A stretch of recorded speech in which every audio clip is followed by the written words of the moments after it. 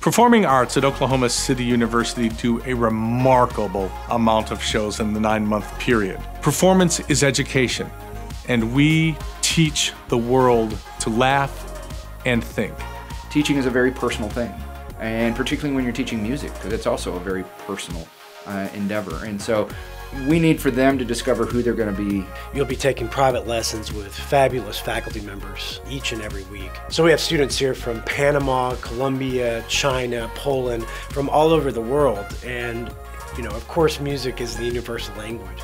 So all of these students come together, and whether it be in symphony orchestra, chamber music, Wind Phil, and they're able to make music at such a high level, and it, it's a beautiful thing. We teach you to be an independent contractor.